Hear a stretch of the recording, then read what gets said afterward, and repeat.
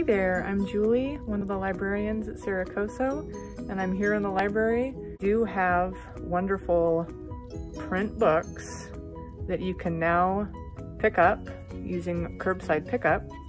Um, you just need to fill out the material request form on the library website.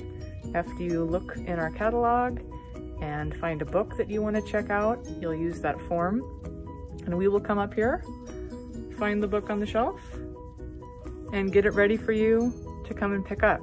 Or we can mail it to a campus close to you.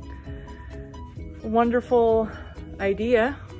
I'm sick of staring at my computer screen, so I'm gonna be curling up with a lot of books from our library.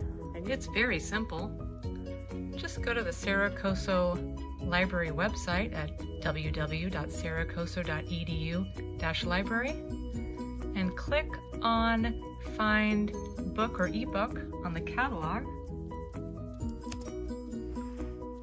Then conduct your search by title or subject. And be sure to limit your search to held by library. Those are our print books.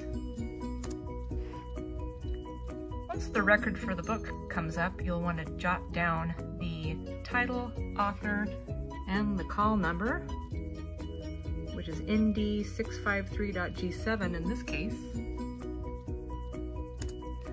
Then go back to the library and click on Material Request Form and you'll enter in some information including your name and email. That's it!